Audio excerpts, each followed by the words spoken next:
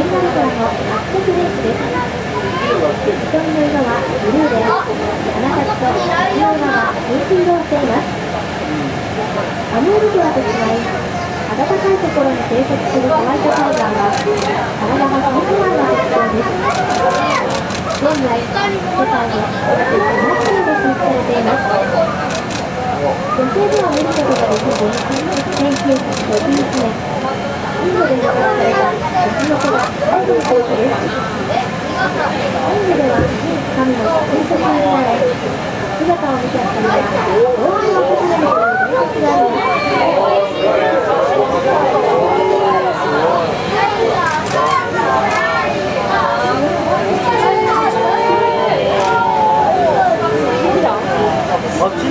す。